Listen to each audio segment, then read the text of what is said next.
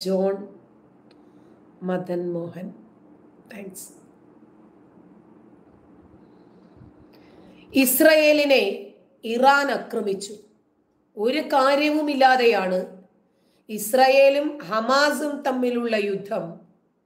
അതും ഹമാസ് ക്ഷണിച്ചു വരുത്തിയതാണ് ഒക്ടോബർ ഏഴാം തീയതി ഒക്കെ നമുക്ക് അറിയുന്ന വസ്തുതകളാണ് നമ്മളും ഈ കാലഘട്ടത്തിൽ മീഡിയ ഉപയോഗിക്കുന്നവരാണ്.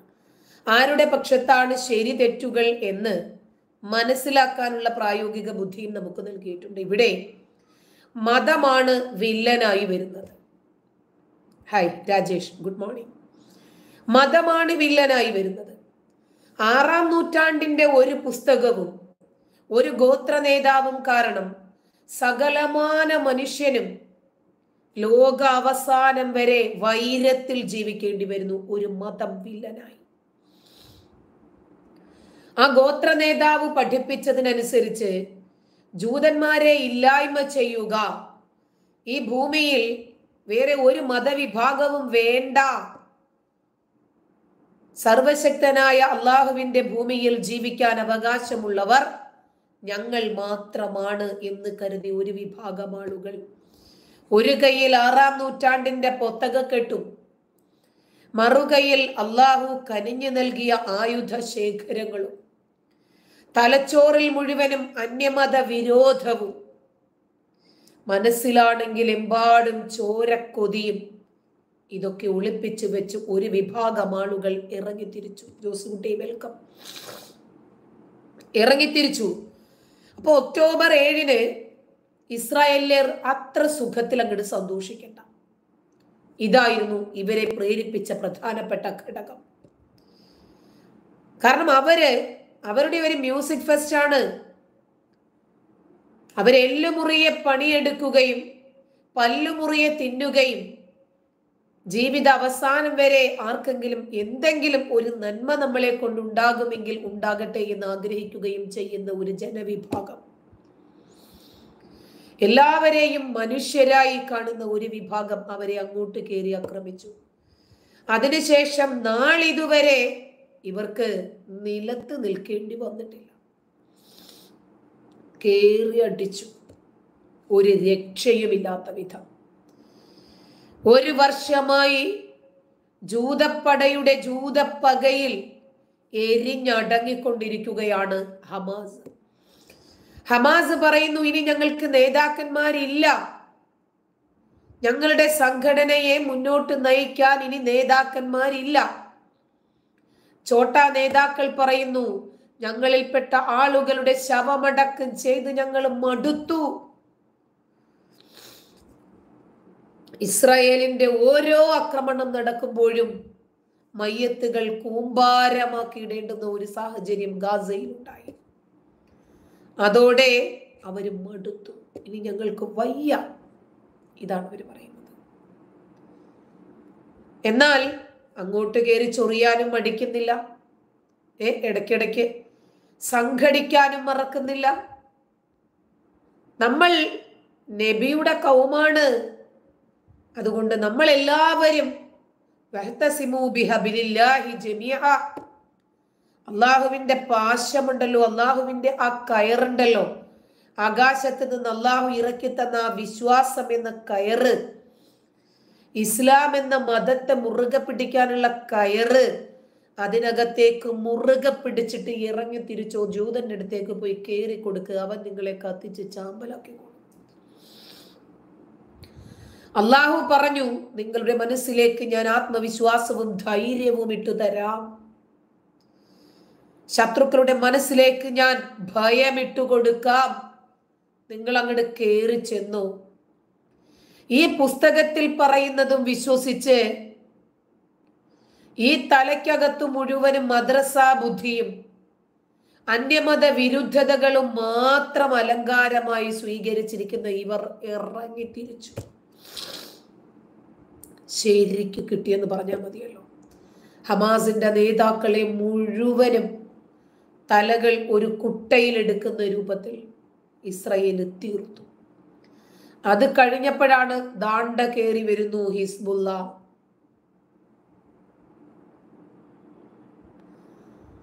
ദാ കയറി വരുന്നു ഹിസ്ബുല്ല.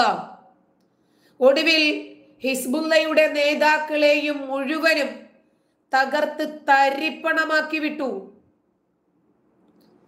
ഹിസ്ബുല്ലയുടെ നേതാക്കളെയും ഒന്നില്ലാതെ ഇസ്രായേലിയർ ഒതുക്കി.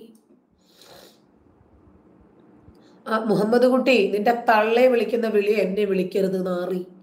രാവിലെ തന്തയ്ക്കും തള്ളയ്ക്കും വിളിപ്പി കേൾപ്പിക്കരുത്. നിനക്കേ ഖുർആൻ ആദ്യം തുറന്നു വെച്ച് നോക്ക്. അതിനകത്ത് അന്യമത വിരുദ്ധതയുണ്ടോ എന്ന് നോക്കാം. അല്ലെങ്കിൽ അറ്റ്ലീസ്റ്റ് നീ ഓതിക്കൊണ്ട് നടക്കുന്ന സൂറത്തിൽ ഫാത്തിഹ ഉണ്ടല്ലോ ഓതാൻ അറിയാമോ എന്തോ?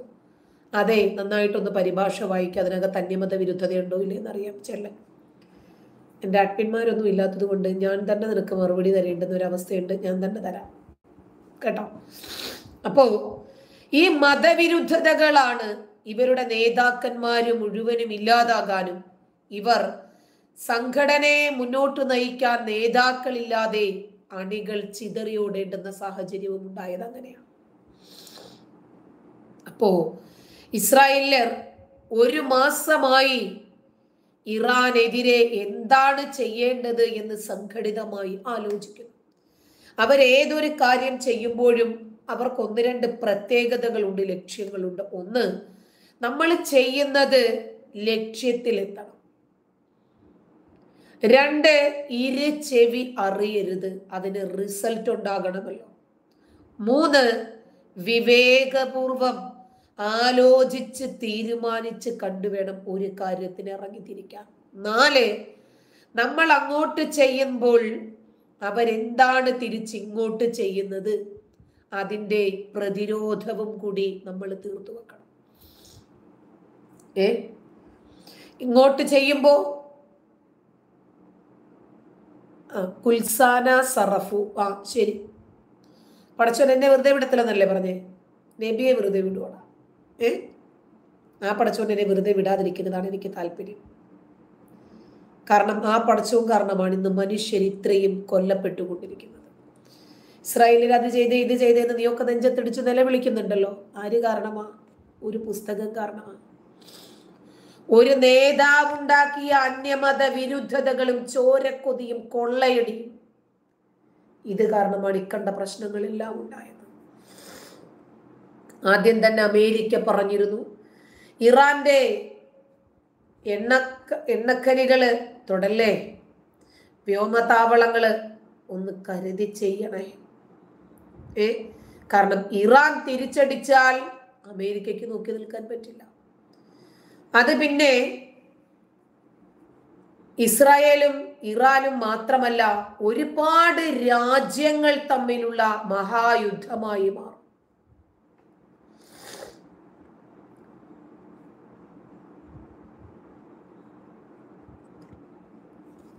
രാവൺ എല്ലാ മതവും മനുഷ്യ സ്നേഹമാണ് പഠിപ്പിക്കുന്നത്. ആണാ? ആണാ? നീ പോലെയുള്ള നിന്റെ അമ്മയപ്പ് കത്തിക്കുക ആദ്യം ചെല്ലേ.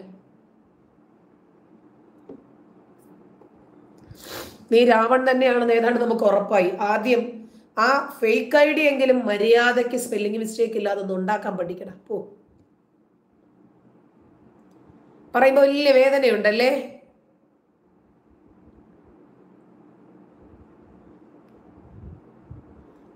ഓ കുൽസാന സറഫു നാളെ തീയിൽ കത്തിക്കരിയുമ്പോൾ ആ നബിയുടെ കാൽ പിടിക്കണം കൊച്ചെ ആദ്യം നബിക്ക് സ്വർഗം കിട്ടുമോ എന്ന് നോക്ക്. അതല്ലേ ഞാൻ പറയണത്? മദ്രസ ബുദ്ധിയുമായിട്ടാണ് നീയൊക്കെ എന്നോട് സംസാരിക്കാൻ വരുന്നത്. ആ നബിക്ക് സ്വർഗം കിട്ടുമോ കൊച്ചെ? ആ കാതലൻ. എനിക്ക് ജോലി കുറഞ്ഞു. നോക്കിക്കോണെ വേറെ ആരുമില്ല ഇവർക്കൊക്കെ നല്ല മറുപടിയും കൊടുക്കണം. തെറിവിളികളുമായിട്ട് ഒരു വിഭാഗം വന്നിട്ടുണ്ട്. ഞാൻ ആരെയും കാണാതെ ആകെ വിഷമത്തിലായിരുന്നു. അപ്പൊ ആദ്യം നബിക്ക് സ്വർഗം ഒന്ന് ഉറപ്പാക്കുക അത് കഴിഞ്ഞിട്ട് പോരെ എന്റെ നരകത്തെക്കുറിച്ച് നിന്റെ ആവലാതി വേവലാതി. കൊച്ചേ നീ അടക്കം സകലമാന മുസ്ലിങ്ങളും അള്ളാഹുവിനോട് പറഞ്ഞുകൊണ്ടിരിക്കുക ദിവസവും. എത്ര തവണകളിലെന്നറിയാമോ? ഏ എത്ര തവണകളിലാ പറഞ്ഞുകൊണ്ടിരിക്കുന്നത്? കമാ ഇബ്രാഹിം ആലി ഇബ്രാഹിം. കമാ ബാറക്ത അലാ മുഹമ്മദ് അല്ലാഹുവേ. ഇബ്രാഹീമിനും അവന്റെ കുടുംബത്തിനും നീ സമാധാനം ചെയ്തതുപോലെ നീ മുഹമ്മദിന്റെ കുടുംബത്തിന് സമാധാനം ചെയ്യണേ. ജീവിച്ചിരുന്നപ്പോഴും സമാധാനമില്ല. മരിച്ചു കഴിഞ്ഞപ്പോൾ സമാധാനം ഉണ്ടോ? തീരെയില്ല കേട്ടോ? അപ്പം അതുകൊണ്ട് ആദ്യം ഇസ്ലാമിനെ കുറിച്ച് നബിയെ കുറിച്ചിട്ടും ഒന്ന് പഠിച്ച് മനസ്സിലാക്കിയിട്ട് വായോ? ഇപ്പോ ഇസ്രായേലിൽ ഒരു മാസമായി ശരിക്കും നോക്കി മനസ്സിലാക്കി. എവിടെ അടിക്കണം? അടിക്കുമ്പോൾ മസ്തിഷ്കത്തിൽ തന്നെ കിട്ടണം.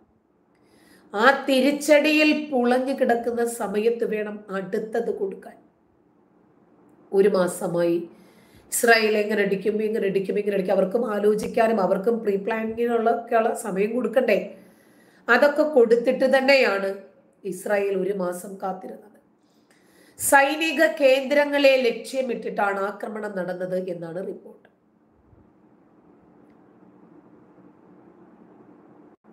ആ അതെ മുരളീധരൻ. നമ്മൾക്ക് സത്യസന്ധമായ നിലപാടാണ്. നമുക്ക് ഏതെങ്കിലും ഒരു വിഭാഗത്തെ സുഖിപ്പിക്കുകയോ ഒരു വിഭാഗം അയ്യോ നമ്മളെ വെറുക്കുമോ? ഏയ് ഉള്ളത് ഉള്ളത് പോലെ പറയും. ഉള്ളത് ഉള്ളത് പോലെ പറയും. അങ്ങനെ അമേരിക്ക ഇസ്രായേലിനുള്ള എല്ലാ പിന്തുണയും പ്രഖ്യാപിച്ചിട്ടുണ്ടല്ലോ. ഇറാന്റെ ഭാഗത്ത് നിന്നും ഇതുവരെ പ്രതികരണവും വന്നിട്ടില്ല. പ്രാദേശിക സമയം പുലർച്ചെ രണ്ടേകാൽ മണിയോടുകൂടിയാണ് ഇസ്രായേൽ ആക്രമണം ഉണ്ടാകുന്നത്. ടെഹ്റാന്റെ വിവിധ ഭാഗങ്ങളിലും അതുപോലെ അൽബോർസ് പ്രവിശ്യയിലെ കറജ് നഗരത്തിലുമാണ് സ്ഫോടനം നടന്നതായിട്ട് നേരം വെളുത്തപ്പോൾ ഇറാൻ മാധ്യമങ്ങൾ റിപ്പോർട്ട് ചെയ്തു. ടെഹ്റാന്റെ വടക്ക് ഭാഗത്തുള്ള സഹാദത്ത് ആബാദിൽ നിന്ന് പുക ഉയരുന്ന ദൃശ്യങ്ങളാണ് സോഷ്യൽ മീഡിയയിലൂടെ പുറത്തു വന്നത്. സൈനിക താവളങ്ങൾ ലക്ഷ്യമിട്ടിട്ടാണ് ആക്രമണം നടത്തിയത് എന്നാണ് ഇസ്രായേൽ ഇതിന് പ്രതികരിച്ചത്. ഇസ്രായേലിന്റെ സ്വയം പ്രതിരോധത്തിന്റെ ഭാഗമായിട്ടാണ് ആക്രമണം എന്ന് അമേരിക്ക ഇതിനോട് തുടക്കം തന്നെ പ്രതികരിച്ചു. അതേസമയം സംഭവത്തിന് പിന്നാലെ ഇറാന്റെ വ്യോമ പ്രതിരോധ സംവിധാനങ്ങൾ പ്രവർത്തന സജ്ജമായതായും ആക്രമണ ശ്രമങ്ങളെ ചെറുത്തതായിട്ടുമാണ് പ്രാദേശിക മാധ്യമങ്ങൾ റിപ്പോർട്ട് ചെയ്തത്. ഇറാൻ സേനയായ ഇസ്ലാമിക് റവല്യൂഷണറി ഗാർഡ്സിന്റെ താവളങ്ങളെ ഒന്നും ആക്രമണം ബാധിച്ചിട്ടില്ല എന്നും റിപ്പോർട്ടുകൾ വരുന്നുണ്ട്. ഐ ആർ ജി സി താവളങ്ങളിൽ ഒന്നും സ്ഫോടനം ഉണ്ടായിട്ടില്ല. ഇറാന്റെ വാർത്താ ഏജൻസിയായ തസ്നീം റിപ്പോർട്ട് ചെയ്ത വാർത്തയാണ്. തലസ്ഥാന നഗരത്തിലെല്ലാം പതിവ് പോലെയാണ് പ്രവർത്തിക്കുന്നത് എന്ന് ടെഹ്റാൻ സർവകലാശാലയിലെ associate professor Fuad Izadi Al ജസീറയോട് പ്രതികരിച്ചിട്ടുണ്ട്. ആക്രമണത്തിന്റെ ആഘാതമോ ഭീകര അന്തരീക്ഷമോ ഇതുവരെ ഇറാൻ റിപ്പോർട്ട് ചെയ്തിട്ടില്ല. പക്ഷേ കൃത്യമായിട്ട് ഇസ്രായേൽ പറഞ്ഞിട്ടുണ്ട്. കാരണം ഒരു മാസം കാത്തിരുന്ന ശേഷമാണ് ഇറാന് ശക്തമായ രൂപത്തിൽ തിരിച്ചടി കൊടുത്തിരിക്കുന്നത്. ഇവർ പറയുന്നത് പോലെയല്ല. ഇറാൻ നേരം വെളുക്കുമ്പോൾ എഴുന്നേറ്റ് നോക്കുമ്പോൾ സൈനിക താവളങ്ങൾ തവിടുപൊടി മയ്യത്തുകൾ കൂട്ടിയിടാനും എണ്ണമെടുക്കാനും പ്രത്യേക സംഘത്തെ തന്നെ നിയോഗിച്ചു. തങ്ങൾക്കുണ്ടായ ഈ ഒരു ആഘാതം വിപത്ത് നഷ്ടം ഇത് റിപ്പോർട്ട് ചെയ്യാൻ പറ്റുമോ ഇതുവരെ ഇറാൻ എന്തോ ഇസ്രായേലിനെ മൊട്ടയടിക്കുമെന്ന് പറഞ്ഞിട്ടല്ലേ മാധ്യമങ്ങൾ റിപ്പോർട്ട് ചെയ്തുകൊണ്ടിരുന്നത്. അപ്പൊ ഇറാൻ ഇത് പറഞ്ഞല്ലേ ഇത്രയും കാലം പിടിച്ചു നിന്നുകൊണ്ട് നിന്നത്? ആ സജ്ജാതെ അവിടെ ഒരു പോയിന്റ് ഉണ്ട്. ഇസ്രായേൽ ഇപ്പോൾ ചെയ്യുന്നത് ശരിയാണ് ചെയ്യേണ്ടതുമാണെന്ന് നിങ്ങൾ പറഞ്ഞില്ലേ? ഇതിന്റെ കാരണം എന്താണ്? ഇപ്പോ നിങ്ങൾ പറയുന്നു വർഗീയതയിൽ ജൂതന്മാരൊട്ടും പിന്നിലല്ല എന്ന് ഈ ഗാസ പലസ്തീൻ തരിപ്പണമാകാൻ കാരണം എന്താ? യുദ്ധം മാത്രമല്ല സുഹൃത്തെ. ഈ ഗാസയിലെ അതായത് പലസ്തീനിലെ ആളുകൾക്ക് ലക്ഷക്കണക്കിന് ആളുകൾക്ക് തൊഴിൽ കൊടുത്തിരുന്നത് ആരാ? ജൂതന്മാരാ. ഇന്റർനെറ്റ് ഇന്ധനം വെള്ളം വഴി ഭക്ഷണം സാമ്പത്തിക സഹായം ജോലി ഇതെല്ലാം നൽകിയ ഒരു രാജ്യത്തെ പെട്ടെന്ന് ഒരു ദിവസം മ്യൂസിക് ഹറാമാണ് എന്നതിന്റെ പേരിൽ അങ്ങോട്ട് കയറി ആക്രമിച്ചാൽ എന്തു ചെയ്യും? ആ പ്രജേഷിന് അവിടെ തെറ്റിപ്പോയി. പ്രജേഷ് ചോദിക്കുന്നത് ടീച്ചറെ സത്യസന്ധമായി എന്താണ് മതങ്ങൾ എന്ന് പഠിച്ചാൽ ആരെങ്കിലും തമ്മിൽ തല്ലി കൊല്ലാൻ പോകുമോ? എന്നാണ് ഇസ്ലാമിനെ കുറിച്ച് പഠിച്ചാൽ ആദ്യം കയ്യിൽ ആയുധം എടുക്കും സുഹൃത്തെ. ഒന്നാം അധ്യായമായ സൂറത്തിൽ ഫാത്തിഹ ഒരു ദിവസം ഒരു വിശ്വാസി പതിനേഴ് തവണ അഞ്ചു നേരം നമസ്കരിക്കുന്ന ഒരു വ്യക്തി പാരായണം ചെയ്യും. തുടിക്കുന്ന ഹൃദയത്തിന് മുകളിൽ കൈവച്ചുകൊണ്ട് പറയുന്നത് ആ ബഹുദൈവ വിശ്വാസികളെ ഉണ്ടല്ലോ അള്ളാഹുവേ നീ ശപിക്കുകയും കോപിക്കുകയും ഒക്കെ ചെയ്ത വഴിപിഴപ്പിച്ച വിഭാഗമുണ്ടല്ലോ അല്ല അവരുടെ കൂട്ടത്തിൽ നീ എന്നെ ആക്കല്ലേ ആക്കലെ അന്യമത വിരുദ്ധതയാണ് മറ്റു മതങ്ങൾ എന്താണ് പഠിപ്പിക്കുന്നത് എന്ന് എനിക്കറിയില്ല. ഖദീജ എന്നെ പൊന്നെ ചക്കരയെന്നൊന്നും വിളിക്കുന്നത് വീട്ടിലാരും കേൾക്കണ്ട കേട്ടാ. കെട്ടിയോൻ കേട്ടാൽ ഇയാൾ മുസ്ലിം ഇയാൾ സ്ത്രീയാണോ എന്ന് എനിക്കറിയില്ല. കെട്ടിയോൻ കേട്ടാൽ ആദ്യം മുത്തലാക്ക് കയ്യിൽ പാർസലായിട്ട് കിട്ടുമെന്ന് സൂക്ഷിച്ചോ. അപ്പോ ഇവിടെ ജൂതന്മാര് മതമാണ് നോക്കിയിരുന്നതെങ്കിൽ പലസ്തീൻ ഒരിക്കലും ഇത്രയും പോലും പിടിച്ചു നിൽക്കാൻ കഴിയില്ലായിരുന്നു. അവർക്ക് വേണ്ടുന്ന എല്ലാ സഹായ സഹകരണങ്ങളും നൽകി ജാതിക്കും മതത്തിനും അതീതമായി മനുഷ്യന് പ്രാധാന്യം നൽകി തന്നെയാണ് ഇത്രയും കാലം ഇസ്രായേൽ നിന്നത്. പക്ഷെ ആ ഇസ്രായേലിനെ മതത്തിന്റെ പേരിൽ അങ്ങോട്ട് കയറി അടിച്ചാൽ തിരിച്ചടി ഉറപ്പായിട്ടും ഉണ്ടാവും. അങ്ങനെ തിരിച്ചടിക്കുമ്പോൾ ഇസ്രായേലിനരുടെ മനുഷ്യത്വവും തപ്പിപ്പോകുന്നതേ വിഡിത്തമാണ്. ലോകം ഭയത്തോടുകൂടി കാത്തിരുന്ന ഒരു മഹാപ്രതികാരത്തിനാണ് ഇപ്പോൾ തുടക്കം കുറിച്ചിരിക്കുന്നത്. ഇസ്രായേലിന് നേരെ മിസൈൽ തൊടുത്തുവിട്ട ഇറാന്റെ നടപടിക്കെതിരെ ഒരു മാസമായി ഏത് നിമിഷവും പ്രത്യാക്രമണമുണ്ടാകുമെന്ന് ഇറാൻ ഭയപ്പെട്ടിരുന്നു. ഏത് രൂപത്തിലായിരിക്കും ഇസ്രായേൽ തിരിച്ചടിക്കുന്നത് എന്നതിൽ മാത്രമേ ഇറാൻ ആശങ്കയുണ്ടായിരുന്നുള്ളൂ. കൃത്യമായി സൈനിക കേന്ദ്രങ്ങൾ ലക്ഷ്യമാക്കിയിട്ടിട്ടാണ് ഇസ്രായേൽ ആക്രമണം നടത്തിയത്. ഒരു പ്രസ്താവനയിലൂടെയാണ് ഇസ്രായേൽ ഇത് അറിയിക്കുന്നത്. അതായത് ഇറാന്റെ എണ്ണപ്പാടങ്ങളെ ഒന്നും തൊടല്ലേ എന്ന് അമേരിക്ക പറഞ്ഞു. ശരി. ഹമാസിന്റെ സൈനിക നേതാക്കന്മാരെയാണ് ഇസ്രായേൽ വീഴ്ത്തിയത്. ഹിസ്ബുല്ലയുടെ കമാൻഡ് ഓപ്പറേറ്റേഴ്സിനെയാണ് വീഴ്ത്തിയത്. ഹൂതികളുടെയും നേതാക്കളെയാണ് വീഴ്ത്തിയത്. തമ്പുരാൻ പറയാനുണ്ടോ അടുപ്പ് കൂട്ടിയുള്ള കരച്ചിലും ചർച്ചകളും ഇസ്രായേലിനെ ശപിക്കുന്നതും പടച്ചവനോട് ഇസ്രായേലിന് വേണ്ടിയിട്ട് നമസ്കരിച്ചിട്ട് അവരെ നശിപ്പിക്കാൻ വേണ്ടിയിട്ട് പ്രാർത്ഥിക്കുന്നതൊക്കെ നമുക്ക് ഇന്ന് കാണാം. നമ്മുടെ മുക്കാലൊക്കെ വരട്ടെ. മുക്കാൽ വണ്ണൊക്കെ വരുമ്പോഴേക്ക് നമുക്ക് കാണാം. ഇന്ന് വെളുപ്പിനെ രണ്ടേകാൽ മണിയോടുകൂടി ഇസ്രായേൽ ആഞ്ഞടിച്ചു. ടെഹ്റാനിലെ പലയിടങ്ങളിലും ഉഗ്രസ്ഫോടനത്തിന്റെ ശബ്ദം കേൾക്കുന്നതായിട്ടാണ് സൈനികർ പറഞ്ഞത്. അപ്പോഴാണ് അവർ ഞെട്ടി എഴുന്നേൽക്കുന്നത് തന്നെ.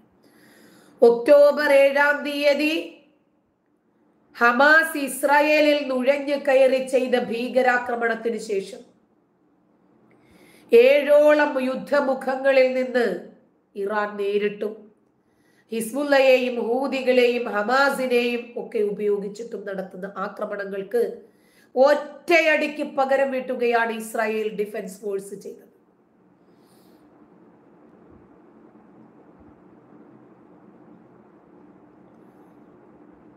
ഒറ്റയടിക്ക് പ്രതികാരം.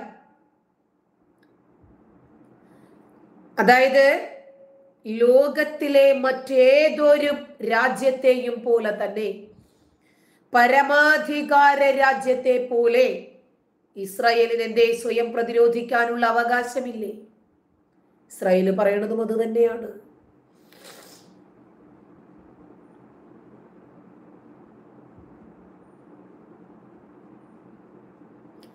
ഖദീജ പറയുന്നു ലോകത്ത് ആരുടെയും ഇഷ്ടത്തിന് ജീവിക്കുന്ന ആളല്ല ഞാൻ. എന്റെ ഇഷ്ടത്തിന് നോക്കി സന്തോഷം ഉണ്ടാകും അങ്ങനെ ജീവിച്ചാൽ മറ്റുള്ളവർക്ക് വേണ്ടിയിട്ട് ജീവിച്ചാൽ ജീവിതം മെഴുകുതിരി പോലെ മറ്റുള്ളവർക്ക് വെളിച്ചം നൽകി നമ്മൾ ഉരുകിത്തീരും നമുക്ക് വേണ്ടി ജീവിച്ചാൽ നമുക്കൊരു സാറ്റിസ്ഫാക്ഷൻ ഉണ്ടാവും.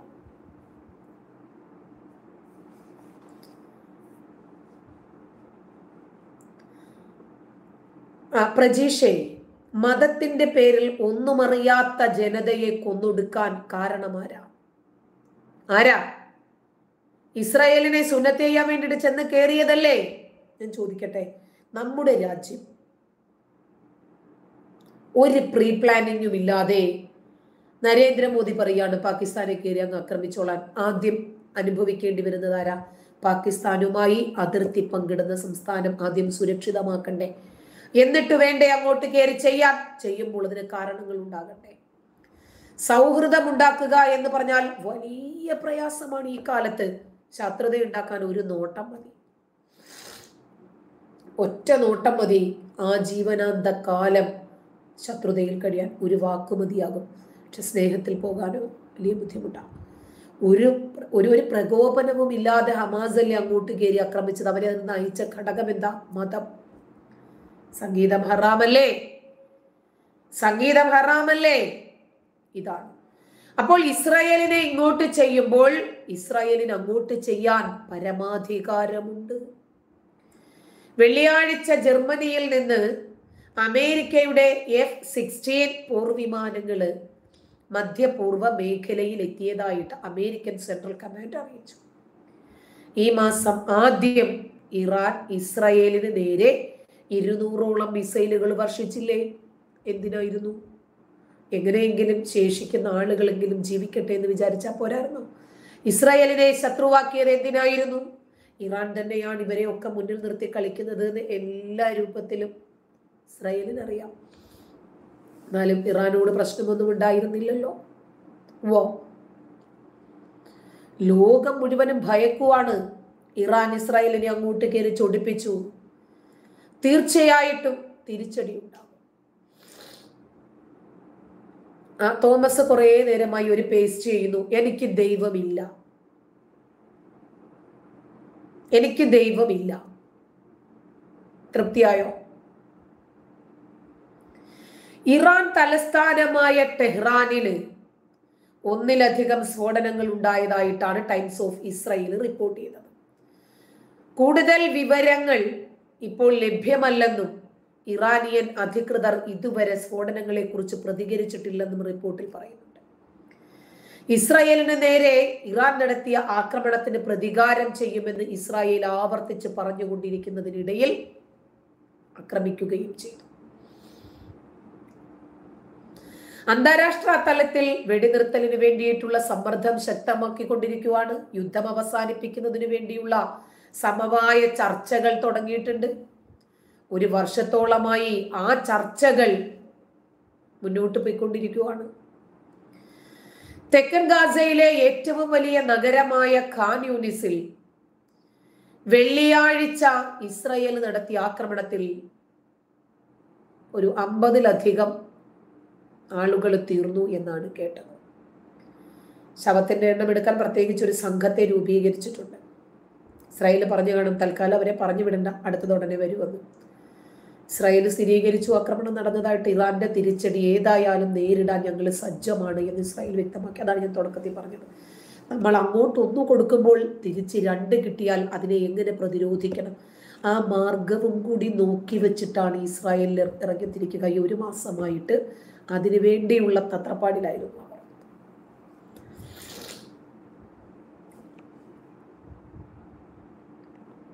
സുഹൈലെ സ്വന്തം മണ്ണിനു വേണ്ടി പോരാടുന്ന പലസ്തീനികൾ എന്തിനാണ് ഇസ്രായേലിൽ നുഴഞ്ഞു കയറി ഇസ്രായേലിനെ ആക്രമിച്ചത്? കഴിഞ്ഞ ഒക്ടോബർ ഏഴാം തീയതി രണ്ടായിരത്തി ഇരുപത്തി മൂന്ന് ഒക്ടോബർ ഏഴാം തീയതി അതല്ലേ ഈ യുദ്ധത്തിലേക്ക് വലിച്ചഴച്ചത്? നമ്മുടെ വാപ്പയാണ് ചെയ്യുന്നതെങ്കിലും ശരി ന്യായീകരിക്കാൻ ശ്രമിക്കരുത്. ആ തെറ്റിനെ തെറ്റായി തന്നെ കാണാൻ നമ്മൾ പഠിക്കണം. ആര് ചെയ്താലും തെറ്റ് തെറ്റാണ്. അതിനെ വേറൊരാളുടെ തെറ്റുകൊണ്ട് ബാലൻസ് ചെയ്യാനോ ന്യായീകരിക്കാനോ നിൽക്കരുത് ആര് ചെയ്താലും ശരി. ഇനി ഇതിന്റെ പേരിൽ ഇറാൻ ഇങ്ങോട്ട് അടിച്ചാൽ അതിനെ പ്രതിരോധിക്കാനും ഞങ്ങൾ ശക്തരാണ് എന്ന് ഇസ്രായേലിൽ പറയണമെങ്കിൽ ഈ ഒരു മാസമായി നല്ല രൂപത്തിലുള്ള പ്ലാനിങ്ങുകളും തയ്യാറെടുപ്പുകളുമായിരുന്നു ഇസ്രായേൽ നടത്തിയത്.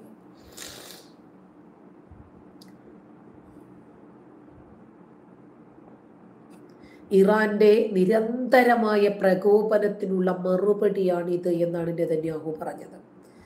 ടെഹ്റാൻ അന്താരാഷ്ട്ര വിമാനത്താവളത്തിന് സമീപവും വലിയ രൂപത്തിലുള്ള സ്ഫോടനങ്ങൾ ഉണ്ടായി സ്ഫോടനത്തിൽ വലിയ രീതിയിലുള്ള നാശനഷ്ടങ്ങളും ഉണ്ടായതായിട്ടാണ് റിപ്പോർട്ട്.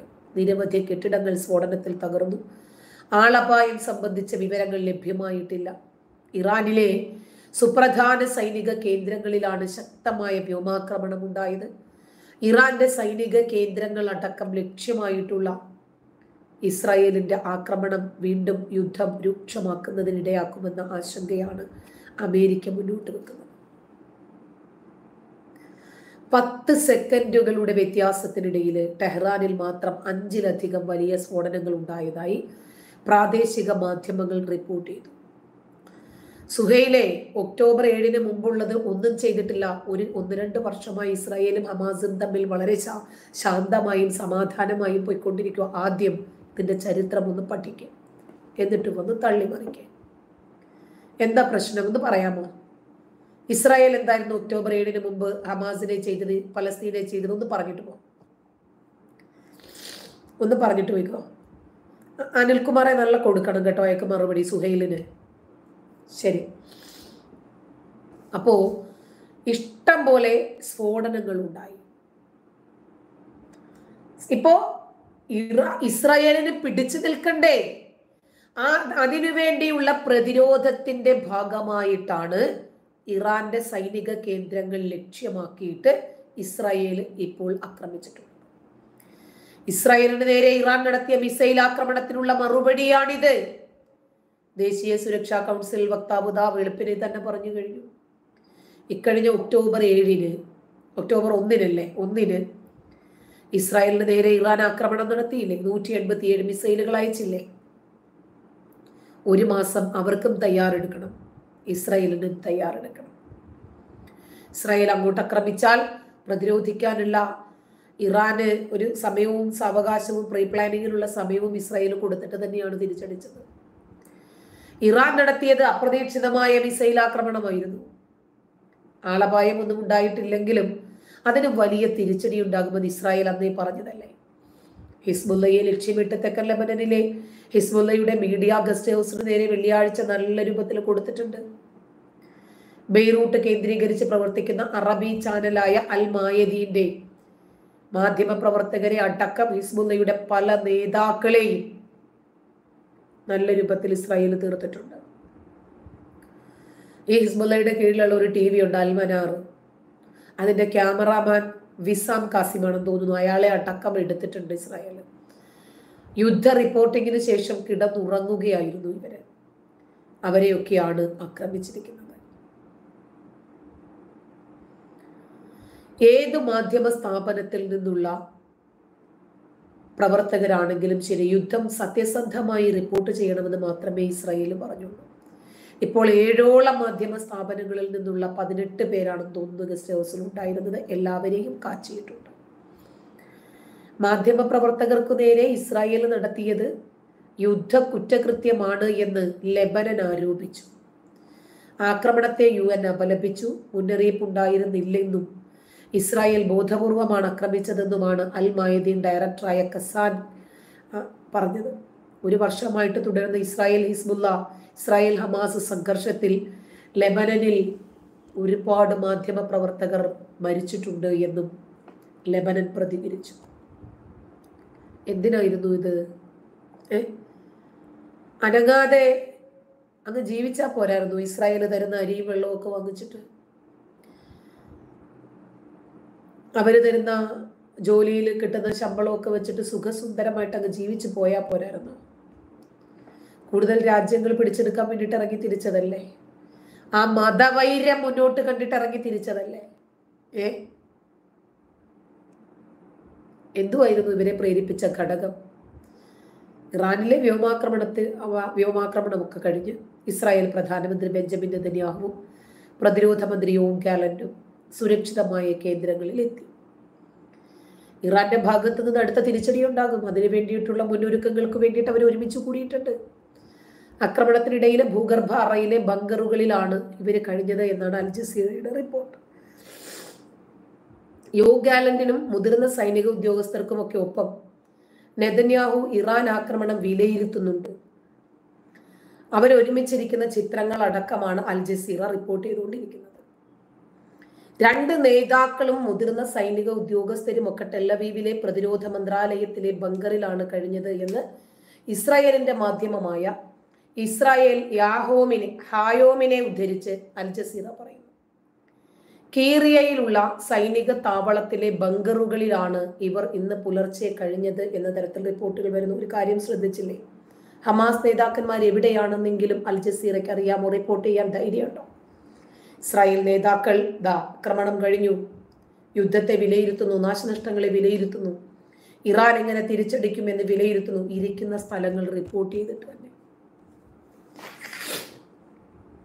ഞങ്ങൾ ഇന്നിടത്താണുള്ളത്. ആക്രമിക്കാമെങ്കിൽ ആക്രമിച്ചു പ്രതിരോധിക്കാൻ ഞങ്ങൾ സജ്ജരാണെന്ന് ഇതല്ലേ യോദ്ധാക്കൾ ചെയ്യുന്നത്?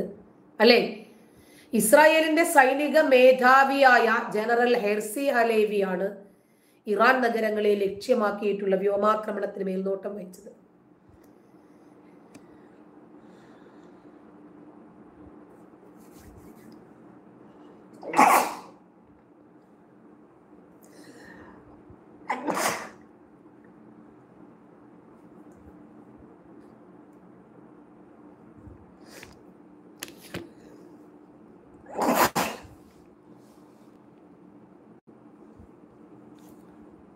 ഇവർക്ക് മതമാണ് പ്രശ്നം.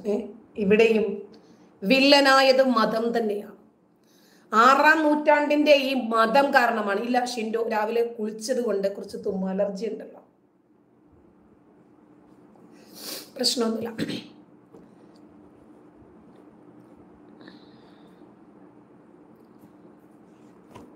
അല്ല സുഹൈലിന് നമ്മുടെ അഡ്മിന്മാർ ഇത്രയും പറഞ്ഞിട്ട് മനസ്സിലായില്ലടാ. ആദ്യം നിന്റെ തലയിൽ നിന്ന് മതമൊന്ന് എടുത്തു മാറ്റ്. എന്നിട്ട് ഇതിനെ ജനാധിപത്യപരമായിട്ടൊന്ന് വിശകലനം ചെയ്യും അതിന് മതം തലയ്ക്കകത്തിരുന്നാൽ പറ്റത്തില്ലടാ. ലിംഗം കൊണ്ട് ചിന്തിച്ചാലും നിനക്ക് മനസ്സിലാകത്തില്ല. തലച്ചോറ് എന്നൊന്നുണ്ട്. നിനക്കുണ്ടോന്നറിയില്ല. അത് ഉപയോഗിച്ചാൽ നിനക്ക് കാര്യം മനസ്സിലാവും. അല്ല നാടിനു വേണ്ടി പൊരുതിയപ്പോൾ എന്ന് പറയാൻ ഇസ്രായേൽ പലസ്തീനെ തീർത്തിട്ടില്ലല്ലോ അവരുടെ സൂപ്പർനോവ മ്യൂസിക് ഫെസ്റ്റിലല്ലേ ഇവർ പ്രകോപിതരായി അങ്ങോട്ട് കൊടുക്കുന്നത്? അപ്പോൾ തിരിച്ചു കിട്ടും വാങ്ങിക്കുമ്പോ അയ്യോ നെഞ്ചിലിടിച്ച് കരഞ്ഞിട്ട് ഒരു കാര്യവുമില്ല വാങ്ങിച്ചിട്ട് മിണ്ടാതിരിക്കണം. ഇനിയിപ്പോ ഇറാന്റെ സൈനിക കേന്ദ്രങ്ങളെ ഏതാണ്ട് തവിട് പൊടിയാക്കിയിട്ടുണ്ട് ഇസ്രായേൽ. അതിനേത് രൂപത്തിലാണ് ഇറാൻ തിരിച്ചടിക്കുന്നതെങ്കിലും ശരി? അതിനെ പ്രതിരോധിക്കാൻ ഞങ്ങൾ സജ്ജരാണ് എന്ന് ജൂത യോദ്ധാക്കൾ പറഞ്ഞിട്ടുണ്ട്. അല്ലാതെ യുദ്ധത്തിന് ഞങ്ങളില്ലേ ഞങ്ങളെ ഇനി ആക്രമിക്കല്ലേ ഇതൊന്ന് അവസാനിപ്പിക്കണേ എന്ന് പറഞ്ഞു. ഒരു രാജ്യത്തിന്റെയും നേതാക്കളുടെ കാൽ പിടിക്കാൻ ഇസ്രായേൽ പോയിട്ടില്ല. അതുകൊണ്ടാണ് അവരോട് നമുക്ക് പ്രത്യേകമായിട്ട് ഒരു ധീര പരിവേഷം അവർക്ക് കൊടുക്കാൻ തോന്നുന്നത്.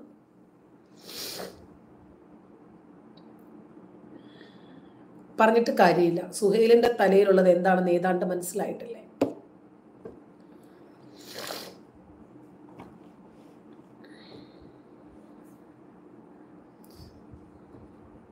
അപ്പോൾ മുപ്പത് മിനിറ്റ് കഴിഞ്ഞിട്ടുണ്ട്. നമുക്കിനി പിന്നെ കാണാം. രാവിലെ അല്ലേ? കുറച്ച് തിരക്കുണ്ട്. നമുക്ക് വൈകിട്ട് കാണാം.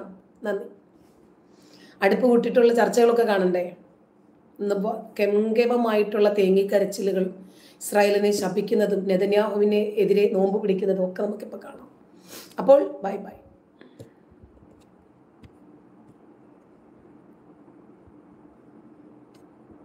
കൊമേനി അല്ലെങ്കിലും ഷംനാദെ ബങ്കറിൽ തന്നെ.